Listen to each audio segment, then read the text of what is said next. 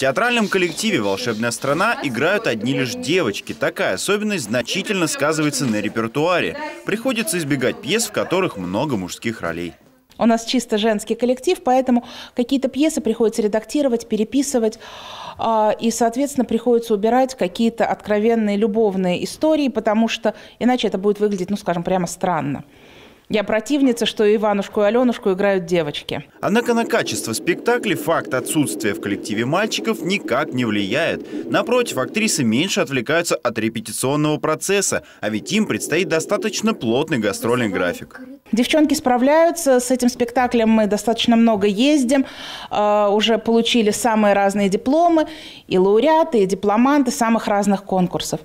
Вот сейчас в ближайшие две недели вывозить спектакль мы будем целых четыре раза. Такие фотографии есть в каждом семейном альбоме. На них изображены люди до военных времен, однако все перечеркнула война.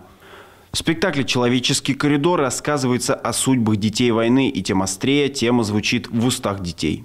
Пьеса отнюдь не девичья, но со сцены юные актрисы четко передают переживания людей, заставших войну.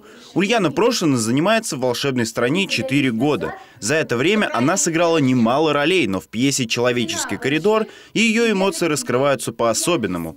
Рассказать о ребенке, который наравне со взрослыми работал в военные годы, задача непростая. Девочка рассказала, как проходит подготовка коллектива к волнительным выступлениям естественно, артикуляционная гимнастика. И у меня конкретно нету ритуала, но мы все вместе всегда собираемся, делаем так называемые ручки, ладошки. Мы собираемся вместе руки, потом раз, два, три, у, -у.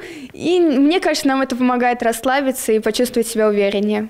Ангелина Пугина тоже могла бы иметь актерский стаж в 4 года, однако в какой-то момент она покинула сцену на целых два.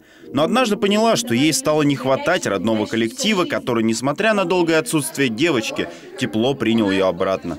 Помимо этого, она считает, что театральное искусство дает необходимые коммуникативные навыки.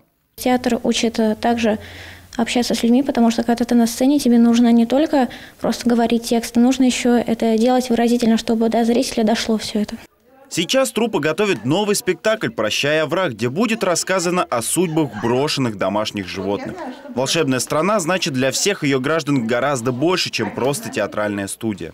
В их спектаклях поднимаются серьезные темы, а сам коллектив вполне напоминает дружную актерскую семью. Арсений Рогозянский, Егор Хлябич, Ольга Садовская. Видное ТВ.